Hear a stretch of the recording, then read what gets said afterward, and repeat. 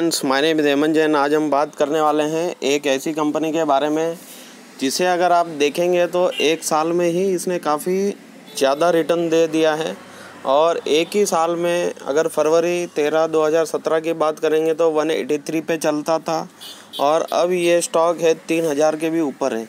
तो आप ही सोच लीजिए, इस कंपनी ने एक साल में इतना रिटर्न दिया है मल्टी बैगर रिटर्न दिया है, लेकिन अब ये स्टॉक काफ़ी वैल्यूएशंस जो इन, इस स्टॉक की है वो काफ़ी बड़ी हुई है और अब ये जो कंपनी है, पचास रुपये का डिविडेंड देने वाला है, जिसके पास अगर ये स्टॉक है वो होल्ड कर सकता है, लेकिन न्यू एंट्री इसमें करने के लिए काफ़ी मीन्स महँगा लगता है और ये कंपनी है एच लिमिटेड तो आप देख सकते हैं एच ने एक साल में काफ़ी अच्छा रिटर्न दिया है।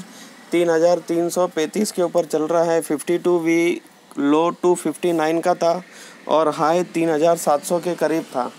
तो लगातार काफ़ी बढ़ते आया है और अब डिविडेंड देने वाला है पचास रुपये का, लेकिन न्यू एंट्री फ़िलहाल तो स्टॉक में न करें क्योंकि काफ़ी बढ़ चुका है।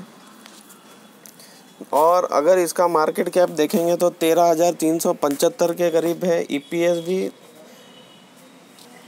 टू सेवेंटी के करीब है, दस रुपये की फेस वैल्यू है।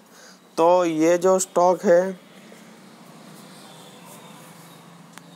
लगातार बढ़ते आया है तो इस स्टॉक में तो फ़िलहाल अवॉइड करिए। न्यू एंट्री का इंट्राडे आप ज़रूर कर सकते हैं, लेकिन डिलीवरी में आप फ़िलहाल ना लीजिए। तो इसका जो डिविडेंड है, उसी के बारे में हम बात करेंगे। तो आप देख सकते हैं, इसका जो कट ऑफ़ डेट है, वो 16 जुलाई 2018 है, और पचास रुपये का डिविडेंड दे रहा है। और जो बुक क्लोजर डेट है वो सत्रह जुलाई से तेईस जुलाई के बीच है और उसी के बीच वो ई वोटिंग भी होने वाली है। तो यही आज एक चीज़ बतानी थी। लेकिन इस स्टॉक में अब अगर फ्रेश एंट्री करेंगे तो काफ़ी दिक्कतें आ सकती हैं अगर स्टॉक फिर से डाउन ट्रेंड में जाता है तो। तो आज इसी के बारे में बताना था। और अगर आपको ये वीडियो अच्छा लगा तो लाइक करिएगा और हमारे चैनल को सब्सक्राइब ज़रूर करिएगा। चलिए थैंक यू